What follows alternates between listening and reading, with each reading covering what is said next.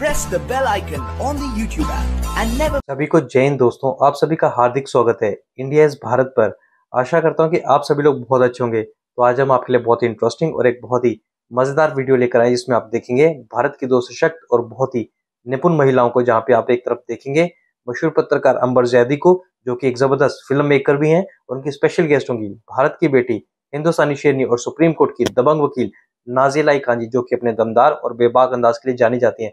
और ये दोनों बात करेंगे और चर्चा करेंगी कि कैसे सच बोलने पे ये दोनों ही बदनाम होती है। तो ये वीडियो काफ़ी इंटरेस्टिंग होगी, आपको बहुत कुछ जानने को मिलेगा और बहुत मज़ा आएगा। तो इसे अंत तक देखें और चैनल पे नहीं है तो चैनल को सब्सक्राइब कर दें ताकि हम आपके लिए इंटरेस्टिंग और मज़ेदार वीडियो लाते रहे। जय हिंद, जय भारत। ये भारत में हमारे प्रधानमंत्री बताते हैं कि कुरान में 306 बार जो है वो शिक्षा के बारे में लिखा हुआ है 800 बार जो है वो इंसानियत के बारे में लिखा हुआ है। एक हाथ में कुरान ले लो दूसरे हाथ में कंप्यूटर ले लो। ये हमारे प्रधानमंत्री बता रहे हैं और वो भी जि, जिसको कट्टर हिंदू कहा जाता है। तो ये तो भारत के मुसलमान और पाकिस्तान के मुसलमानों के लिए डूब करके मर जाने की बात है भाई। आज मुसलमानों की औकात क्या हो गई और मुसलमानों को किस नज़रों से देखा जा रहा है? भाई तीन औज़ार लेकर के मुसलमान घूम रहा है एक ज़ुबान में गाली गलोच एक पैंट के जिप में बलात्कार करने के लिए। और और तीसरा जो है वो क्रिटिसाइज करने का। औज़ार बस दैट्स इट यही तीन औज़ार तो है मुसलमानों के पास। आज अंबर आपसे आपसे डिबेट में नहीं जीत पाएगा सीधा बोलेगा अरे ये बहुत खराब औरत है। मुझसे अगर शिक्षा में मेरे बारे में नई अफवाह मौलाना उन्हें उड़ाई है कि आरएसएस ने मुझे नोएडा में एक बहुत बड़ी कोठी दी हुई है। मैं तो कहती हूँ भाई पेपर दिलवा दो मुझे कोठी के आरएसएस से। तुम्हारे लिए फिर भी बहुत इज़्ज़त वाला अफवाह उड़ाया गया है। मेरे लिए तो सीधा बोला जाता है कि मैं आरएसएस के लोगों का मुँह में लेकर बैठी रहती हूँ। अल्लाह तौबा है। छी छी। जी। अरे मेरे ट्विटर एक्स पे पढ़ो ना। मेरे लिए तो सीधा ये बोला पता जाता नहीं है। नहीं नहीं जो टीवी डिबेट वाले मौलाना आते हैं उन साथ वालों की बात कर रही हूँ मैं। फिर भी अच्छी बात जनता क्या बोलती है वो है। है। भी बहुत बहुत मतलब कायदे करीने की तुम्हारे लिए बात कही है। मेरे मुझे तो सुबह आरएसएस की दलाल मुँह में लेकर बैठी हुई है आरएसएस वालों का। बहुत पैसा देता है आरएसएस इसको नोएडा में बहुत बड़ी कोठी दी, हुई है। और किसी गेस्ट कोऑर्डिनेटर से ही बोल के गए वो निकल गए। मैं स्टूडियो से निकलते निकलते रह गए तो कह रहे थे एक्चुअली वो मेरे से डिबेट में नहीं जीत पाए थे तो चिढ़ गए। और चिढ़ते हाँ, चिढ़ते उस कोऑर्डिनेटर को बोल के गए कि ये बहुत खतरनाक है आरएसएस से पैसा लेती है। और इसको आरएसएस ने नोएडा में बहुत बड़ा बंगला दिलाया। मैं कहा, भाई पेपर दिला दो। बंगले के।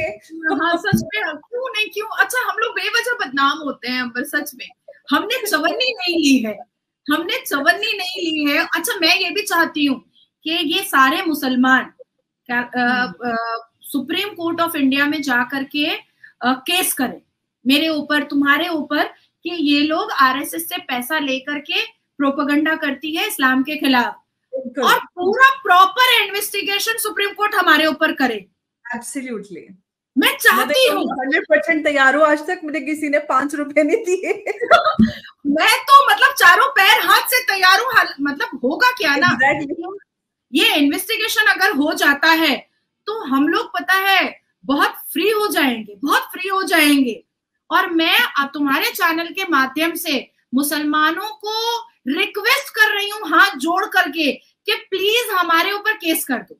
हमारे ऊपर केस करो एक एक पैसा लेते हैं दुनिया भर से आरएसएस हाँ, से बीजेपी से। Appropriate, specifically एक रेट That- पिटिशन मेरी मेरी पूरी बात सुनो अच्छे से एकदम गौर से अंबर सुनो।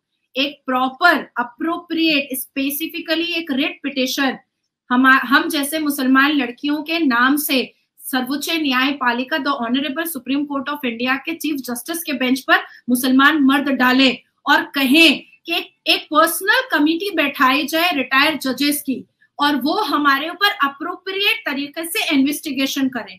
प्रॉपर तरीके से हमारे बैंक अकाउंट का हमारे एफडीज का हमारे घर का हमारी गाड़ियों का हमारा हमारा फ़ोन सब कुछ सीज कर ले। सब कुछ सीज कर ले। और जब तक जब तक इंक्वायरी पूरी ना हो जाए हमें हमारा फ़ोन भी ना दे। हमारे हम, हमें हमारा पासबुक भी ना दे। लेकिन वीडियो कॉन्फ्रेंस करके जजेस जो है वो ये बात बताएँगे। पूरे देश को दिखाएँगे कि हमारे पास कहीं से पैसा आता है कि नहीं आता है। और अगर मर, और अगर मुस्लिम मर्द नहीं किए तो इसका मतलब है कि वो सिर्फ़ हमें डोमिनेट करने के लिए हमें बेइज्जत करते हैं क्योंकि हम तो तैयार है। फिर ये नामर्द नामर्द नामर्दी दिखाते हैं। यही है। देखो अब एक महिला से अगर आप आर्ग्यूमेंट में नहीं जीत पाते तो उसके लिए ये कैरेक्टर असेसिनेशन ही हो सकता है कि तुम पैसे लेती हो पैसे खाती हो यहाँ जाती हो वहाँ जाती हो। ये सारी चीज़ें होती है और ये कोई नई चीज़ नहीं बड़ी पुरानी है। क्या ही फ़र्क पड़ता है? वो पुराने जमाने वाली महिलाएँ नहीं है ना कि हम डर जाएँगे या हम कहेंगे हम कोई फ़र्क पड़ता नहीं है। ये हाँ, सारी चीज़ें पुरानी तो मैं इंतज़ार कर रही हूँ। मैंने कई चैनल्स पर ये बात कहा है और कई मौलवियों को भी मैंने ये बात कहा है जब वो डिबेट में हार जाते हैं और वो अभद्र टिप्पणियाँ करते हैं तो मैंने उनको कहा है अभी परसों भी एक मौलाना कह रहे तुम बाकी को उस पे वही है ना All India Muslim Personal Law Board वाले कौन से मौलाना तुम बागियों को बुलाते हो तुम बागियों को बुलाते हो। अब आर्ग्यूमेंट में जीत नहीं पाते तो उल्टा सीधा बोलना शुरू कर देते खैर मैं मैं बहुत मतलब खूबसूरत तरीके से ये बात बताना चाह रही हूँ कि मैंने कई चैनल्स पर ये बात रखी है कि सारे मौलाना और और नहीं हो तो मुसलमान मर्द ही जो हमें अभद्र टिप्पणियाँ करते हैं कमेंट करते हैं, वो लोग किसी भी कोर्ट में जाकर के हमारे अगेंस्ट में केस करें, हमारे ऊपर वेरिफिकेशन बैठवाएँ कि हमें कहाँ से पैसा मिलता है या हम कहाँ के कहाँ के लिए प्रोपोगंडा करते हैं और अगर पिछले तीन महीने तक उन्होंने नहीं किया तो। अंबर मैं खुद इस केस को फ़ाइल करूँगी, अपने अगेंस्ट में तुम चाहो तो मुझे कंपनी दे सकती हो। मैं, मैं ये बात बोलने वाली थी बीच में कि खुद ही करवा देते और क्या है? हाँ, हम दोनों हम दोनों कंप्लेन भी रहेंगे और हम दोनों अक्यूज भी रहेंगे। दोनों हम ही रहेंगे। और उसके बाद हम लोग जज साहब को बोलेंगे कि देखिए ऐसी ऐसी बात है हम चाहते हैं कि हमारे ऊपर वेरिफिकेशन हो लेकिन जजमेंट जो है वो वीडियो कॉन्फ्रेंस करके सुनाया जाए। बिल्कुल। तो इसमें मुझे लगता है हमें करना चाहिए। एब्सोल्युटली मुझे भी लगता है कि इतना इतना अरसा हो गया है सारी बातें सुनते सुनते और आपको लगता है इतने स्ट्रांगली तो फिर आप केस फ़ाइल कीजिए और पूरे देश को दिखा दीजिए कि किसको कहाँ से कितना पैसा मिलता है और कौन सा और है। हाँ। तो बिल्कुल। तो खाया पिया कुछ नहीं गिलास थोड़ा भरा है ना वो आरएसएस वाले हमें चवन्नी नहीं दे रहे और वो अपना नाम भी भंजा करके खा रहे हैं कि वो हमें पाल रहे हैं। तो मतलब फ़ायदा तो आरएसएस वाले का हो रहा है ना भैया? कि पैसा भी नहीं खर्च हो रहा है हमारे ऊपर और वो क्रेडिट भी लेकर के जा रहे हैं आरएसएस वाले। अच्छा आरएसएस वाले भी नहीं कर रहे भाई पैसा तो दे दो जो हम एटलीस्ट दो चार पैसे का फ़ायदा तो हो। मैं कोशिश में लगी हुई हूँ मेरी गाड़ी बहुत खराब हो चुकी है। नाम की गाड़ी है मैं गाड़ी प्राइवेट जेट खरीद लूँ एक। तुम्हारे सपने तो बहुत बड़े हैं प्राइवेट जेट में तो मामूली सी एक गाड़ी नहीं खरीदना चाहती हूँ। पर आई स्वेर अंबर मैं मैं पता बहुत सीरियसली ये बात कह रही हूँ तीन महीना मैं इन हिजड़ों का इंतज़ार करूँगी कि ये जो बोलते हैं उस पर उतरते हैं कि नहीं? ये लोग केस करते हैं कि नहीं? हमारे पर वेरिफिकेशन बैठाते हैं कि नहीं? और अगर तीन महीना ये नहीं करेंगे तो पता है इनमें इतनी हिम्मत नहीं है नहीं करेंगे। तो हम करेंगे। तोड़ने के लिए हम दोनों करेंगे। हम दोनों करेंगे और सीधा सुप्रीम कोर्ट चीफ जस्टिस के बेंच पर वो एसएलपी हम डालेंगे कि हम चाहते हैं कि हमारे ऊपर इन्वेस्टिगेशन बैठे ताकि ये आरएसएस जो फोकट में क्रेडिट ले रहा है वो भी तो खत्म हो कम से कम। और मैं तो पार्टी आरएसएस वालों को भी बना दूँगी। आरएसएस हाँ. वालों को भी पार्टी बना दूँगी कि वो भी आकर बताए कि वो हमें पहचानते भी है कि नहीं।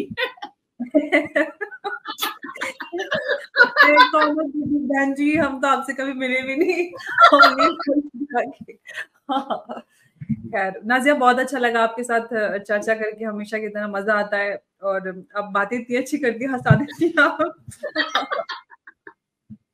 मैं सोच रही हूँ कि कपिल शर्मा की तरह एक कॉमेडी वाला वो बना लू मैं भी। मैंने पॉडकास्ट में मैंने बुलाया था दीपक सैनी को केजरी बवाल आपको देखना बहुत अमेजिंग शो है। मज़ा आएगा देख के आपको।